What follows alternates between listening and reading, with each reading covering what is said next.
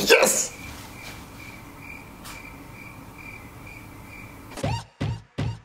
En 2015-2016, Leicester fait sensation en Angleterre avec son titre inattendu puisqu'ils n'étaient pas du tout favoris. En France, l'équivalent c'est un peu Montpellier en 2011-2012. En 2009, après 5 longues saisons en Ligue 2, Montpellier retrouve enfin l'élite et s'en sort plutôt très bien puisque dès l'année de son retour, le club termine à la 5 place de Ligue 1. Putain, quel retour Bon alors faut être délicat un peu avec Michael parce qu'il sort d'un an d'anorexie donc euh, je sais pas. Salut Putain. Quel retour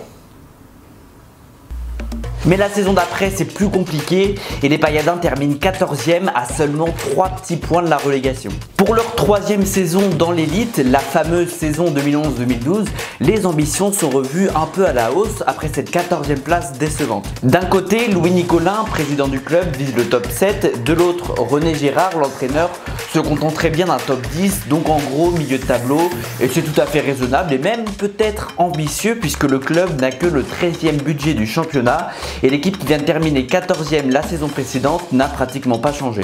On est passé à deux doigts de la relégation. Donc on reprend les mêmes et on recommence. Ouais. Ouais, On va bien s'amuser encore. on va tout perdre.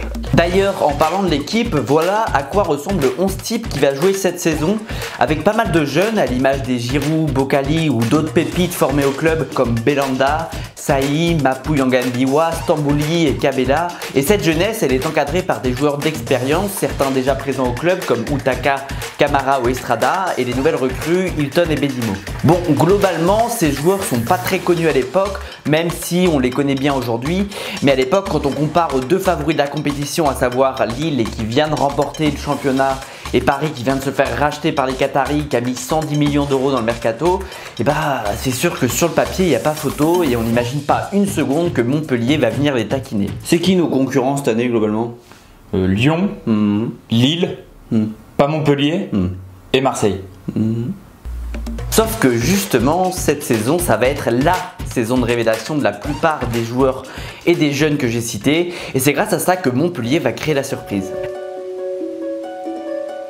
La saison, elle commence plutôt très bien avec 5 victoires sur les 7 premiers matchs, dont une de prestige contre le LOSC, champion de France en titre. Et contre toute attente, à la 7 journée, eh ben, c'est Montpellier qui est en tête du classement et c'est plutôt surprenant parce que bah, c'est toujours bizarre de voir quelqu'un là où t'as pas l'habitude de le voir. Maman?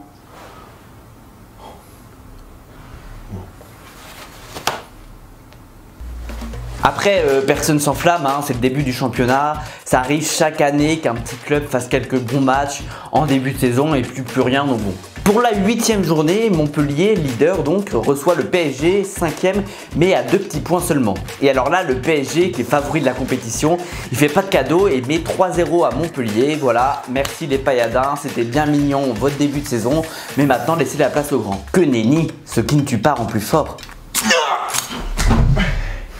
Mais c'est dommage parce que tout ce qui ne tue pas rend plus. Ah non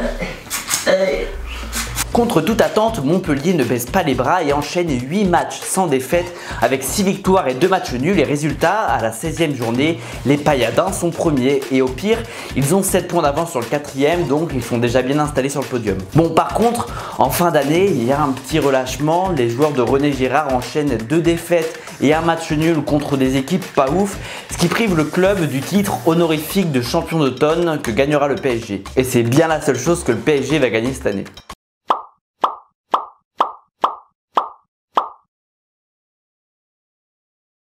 Maintenant, il reste 19 matchs, Giroud et ses copains sont deuxièmes, mais encore à ce moment, il n'y a pas grand monde qui croit au titre, Paris a repris les devants, et puis on continue de penser que Montpellier va finir par craquer totalement, comme ils viennent de le faire sur les trois derniers matchs. Bon, c'est pas très optimiste, mais bon. Putain, personne croit en moi, ça me saoule. Heureusement, vous, vous croyez en moi, vous, êtes toujours derrière moi, vous, vous pensez que je peux le faire. Non, en fait, vous pensez pas que je peux le faire, vous savez que je vais le faire.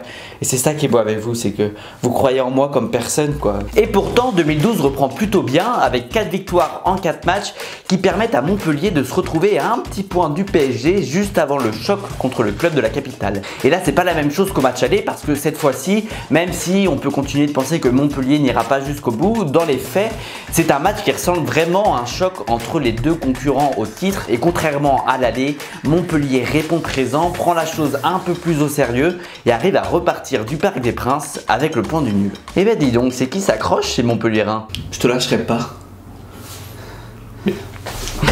Non. Putain, mais il est relou, lui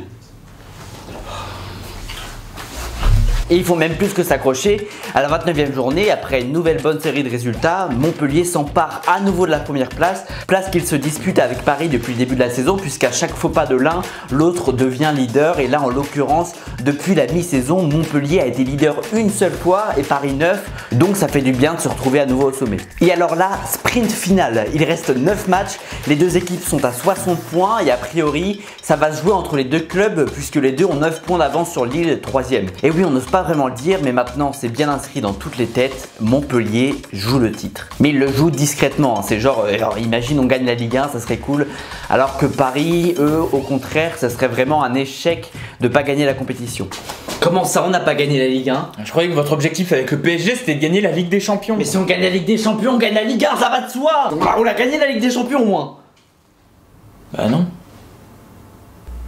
D'ailleurs, dans cette bataille Paris-Montpellier, j'imagine qu'entre le petit club familial qui était en Ligue 2 deux ans avant et le club de la capitale qui vient de se faire racheter par le Qatar, bah le cœur des Français penche plutôt pour le sud. Bref, le sprint final est intense, Montpellier lâche pas sa place de leader et Paris lui colle au cul, donc chaque point compte et imaginez les boules que les supporters ont dû avoir quand dans la 35e journée, Camara rate un pénalty à la dernière seconde contre Evian et prive le club de deux points supplémentaires très précieux. Bon, les gars, si on gagne pas le titre, c'est pas la faute de camarade, hein? Camarade, tu l'as raté, avez compris c'est... Heureusement, Paris fait aussi quelques faux pas et avant les deux dernières rencontres de la saison, Montpellier conserve 3 points d'avance sur son dauphin. Sauf que dans les deux derniers matchs qu'il reste, Montpellier joue un énorme match contre Lille, 3 qui est bien revenu dans la compétition et qui peut mathématiquement espérer la deuxième place et peut-être même le titre. Donc ils sont motivés les Lillois et s'ils gagnent et que Paris l'emporte aussi, Montpellier cédera sa place aux Parisiens. Donc c'est un match compliqué qui arrive et ça confirme puisque dans cet avant-dernier match de la saison, Lillois et Montpellierin font match nul. Jusqu'à la 94e minute. Olivier Giroud est parti de sa moitié de terrain, il est donc en position de hors C'est peut-être l'occasion à contre. Giroud revient la saison. Olivier Giroud a frappé. Olivier Giroud tente le dribble, il va donner. Oui, le but. Ouais, le but de Naïfala. Ouais, le but de Karim Naïfala à la 94e minute. C'est exceptionnel.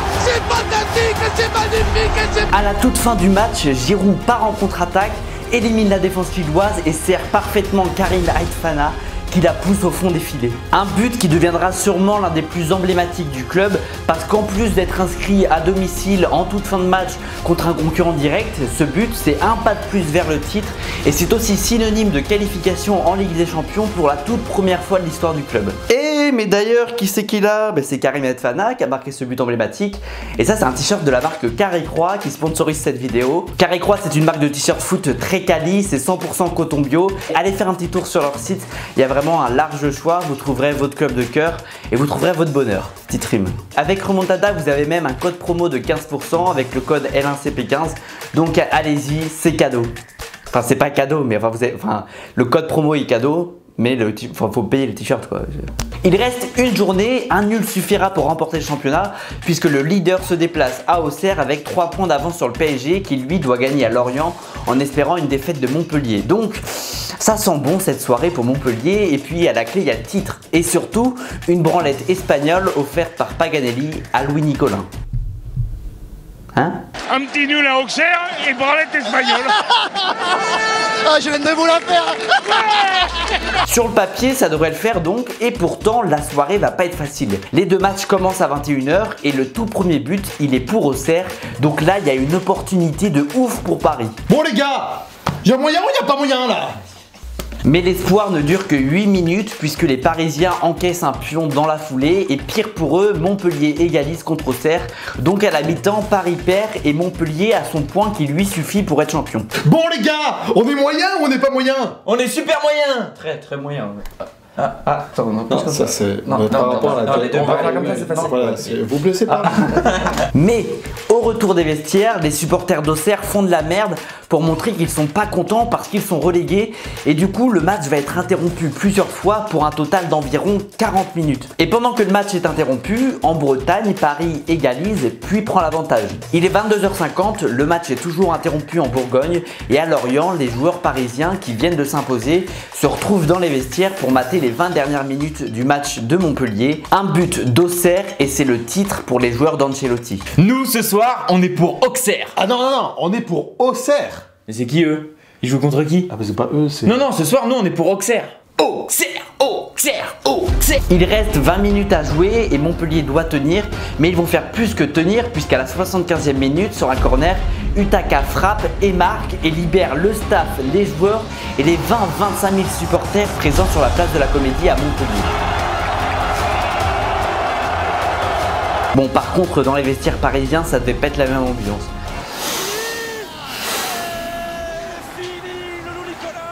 Moins on a l'étoile. Ah non, on n'a pas l'étoile. Ah ouais, merde.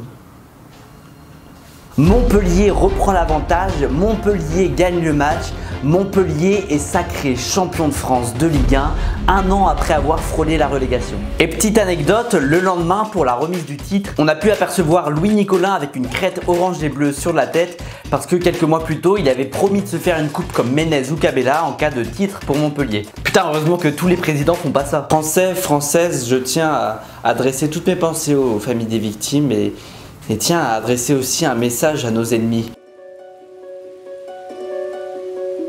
Petit bilan de la saison en chiffres, Montpellier termine avec la meilleure défense et la troisième meilleure attaque grâce notamment au meilleur buteur du championnat, Olivier Giroud et ses 21 buts. Mais Giroud c'est un joueur parmi d'autres, cette année Montpellier a pu compter sur l'éclosion de ses jeunes joueurs avec une saison très aboutie et plus que prometteuse pour les Yanga Mbiwa, Belanda, Stambouli ou Kabela. Avec 82 points, soit 13 de plus que son précédent record, Montpellier fait le deuxième meilleur total de points sur une saison de Ligue 1 depuis qu'une victoire rapporte 3 points, donc depuis 1995. Enfin bon, après ils ont vite été écartés du podium et même du top 10, puisque depuis chaque année le champion fait mieux. Voilà, des bonnes stats cette saison. Après, bon, bah, pour Montpellier, c'était une exception, une saison fantastique, mais rien de plus, ni avant, ni après. Là, c'était vraiment bonjour, merci, au revoir. Bonjour. Bonjour. Merci. Au revoir. Au revoir.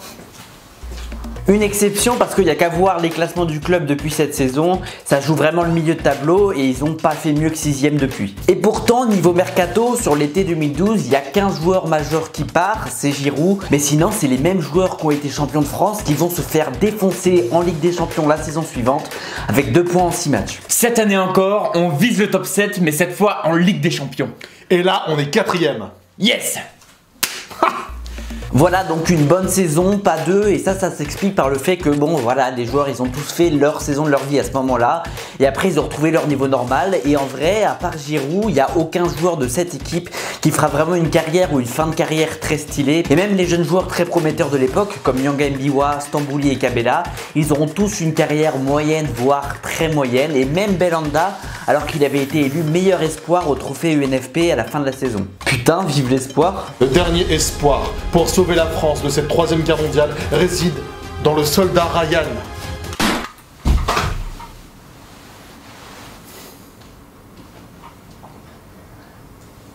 Quoi qu'il en soit, même si ça se passe pas toujours très bien depuis, cette saison elle restera à jamais gravée dans les mémoires. À Montpellier, c'était un rêve inaccessible, c'est devenu une réalité. Et quand on a le cœur qui bat pour Montpellier, ce qui est sûr, c'est qu'après avoir vu ça, on peut mourir tranquille. Et pour le coup, Loulou, il devait être bien tranquille quand il est parti au paradis du foot.